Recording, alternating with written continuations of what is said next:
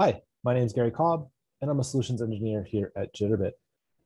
Today, we'll be looking at an integration between QuickBooks and a CRM. In this case, we'll be using Salesforce.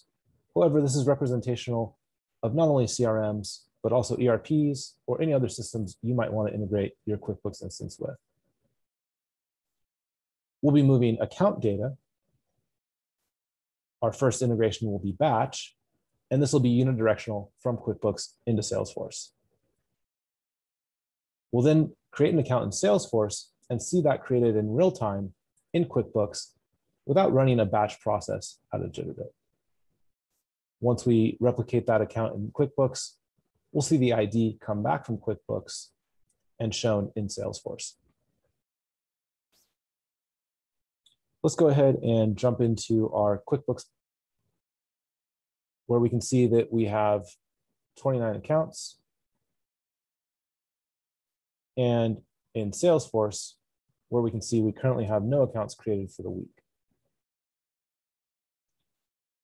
Now in Jitterbit, we're going to go ahead and run this operation where you can see we're querying our accounts out of QuickBooks, mapping them to our Salesforce instance, and then upserting them into Salesforce. Now I'm running this on an ad hoc fashion However, it's more likely you would set this up on a scheduled basis to run every minute, five, or 10 minute increment. Now that's completed. Let's go ahead and jump back into Salesforce and refresh and see that we do indeed have our QuickBooks accounts, all 29 of them, along with the QuickBook ID in the external ID field here. Now moving into the real-time process, we'll go ahead and create an account. And in this case, we're going to check a box to signify to Salesforce we want to create this account in QuickBooks. Now this doesn't have to be a checkbox. There's many ways we can set up this trigger. I'm just happening to use this Boolean option here today. I'll go ahead and save this account. And if we give Salesforce just a moment to send this payload out to Jitterbit, Jitterbit's going to create the account in QuickBooks. And after doing so, Jitterbit will bring back the ID to our external ID field here, and we'll see the actual ID from QuickBooks. Let's go ahead and refresh. And here you can see that I, I do have my ID 77. And if we verify that in QuickBooks, we'll see our new account at the top of the list here.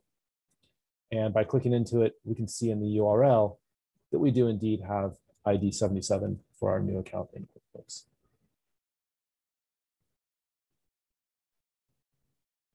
Now, today we've seen QuickBooks to Salesforce in a batch process. We saw an account created in Salesforce and sent to QuickBooks in a real-time process. And it's worth mentioning that although we're working with account data here, this can really be any type of data, maybe purchase orders or sales orders or invoices or anything of the sort. Again, my name is Gary Cobb. I'm a solution engineer here. Please feel free to reach out to me if you have any questions or reach out to your sales representative. We'll be happy to, have a discussion further about your QuickBooks integrations and the needs around it. Thanks and have a great day.